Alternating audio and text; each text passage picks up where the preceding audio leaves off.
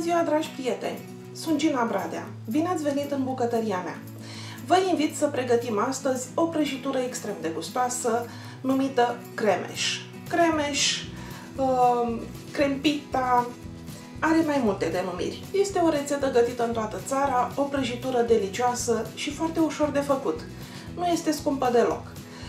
Putem face această rețetă cu foietaj din comerț. Este ieftin, un kilogram de foietaj este suficient, iar cremele le facem în casă. Puteți face foietajul acasă dacă doriți. Ce avem nevoie pentru această rețetă?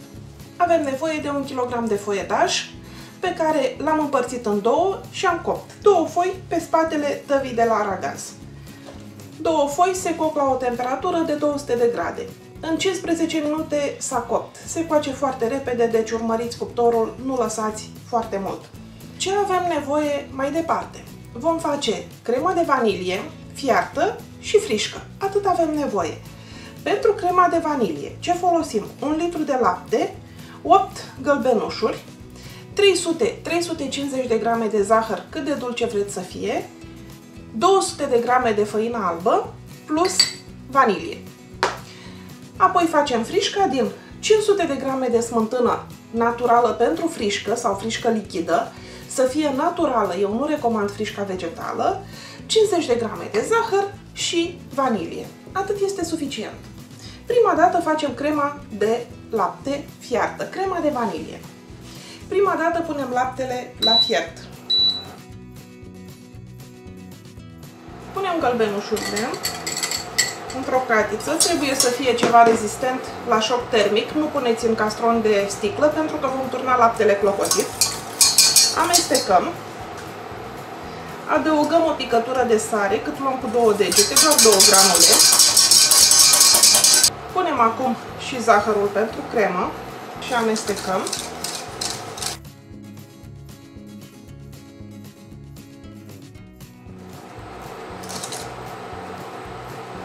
Și puțin câte puțin adăugăm făina aici.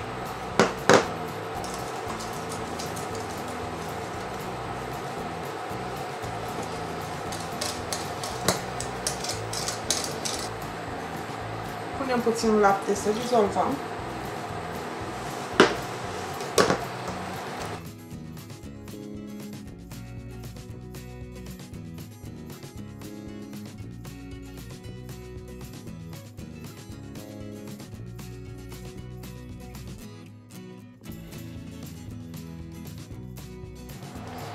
turnăm laptele clocotit puțin câte puțin peste cremă.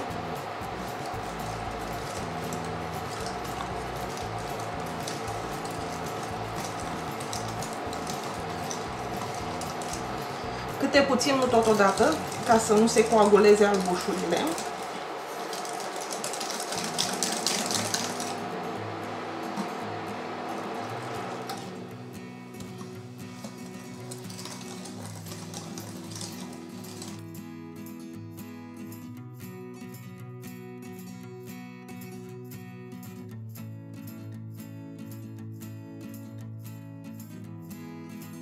strecurăm crema ca să evităm formarea de cocoloașe.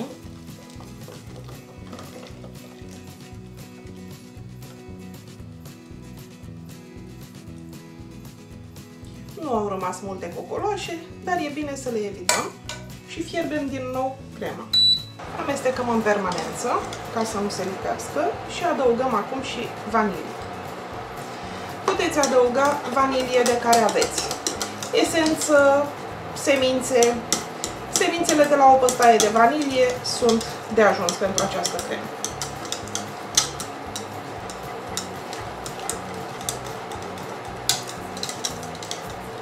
Deja începe să se îngroașe.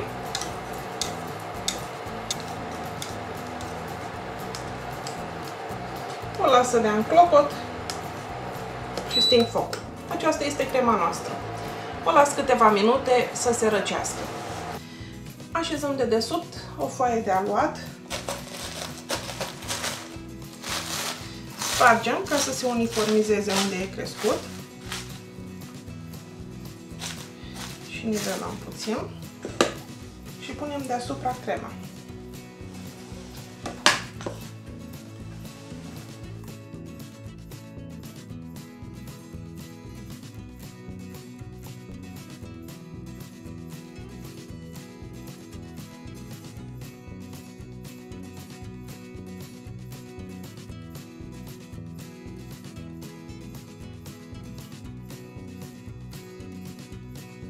O dăm la frigider și lăsăm să se întărească. Punem la bătut frișca, zahărul și vanilie. Adăugăm deasupra și frișca bătută.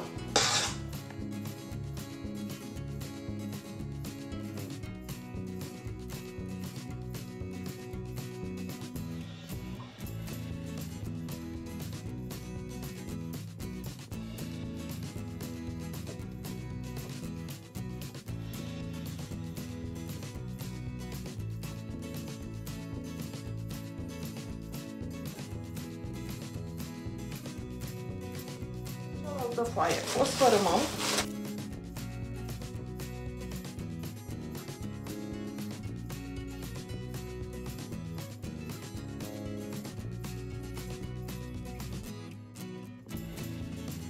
Asta este prăjitura cremeș, crempita, cremșnit, depinde cum o cunoașteți. Este o prăjitură făcută din foietaj cu cremă de vanilie și frișcă. Vă invit să probați rețeta. Este delicioasă se face foarte ușor și nu este deloc scumpă. O lăsăm acum la frigider. Este bine să stea câteva ore bune la frigider pentru ca în felul acesta să se înmoaie și uh, foietajul de deasupra și cel de dedesubt. Deasupra se poate pune foaia întreagă de foietaj tăiată pătrate. Eu prefer să o pun sfărâmată pentru că se taie mult mai ușor. Nu vă grăbiți să o tăiați, lăsați-o minim 4-5 ore la rece. Este simplă și gustoasă, așa cum v-am spus. Vedeți și celelalte rețete de prăjituri, dar și rețetele de mâncăruri de pe acest blog. Am foarte multe.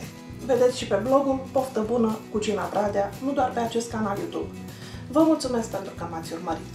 Puteți să vă abonați la acest canal dacă vă plac rețetele mele și puteți să le recomandați și prietenilor. La revedere!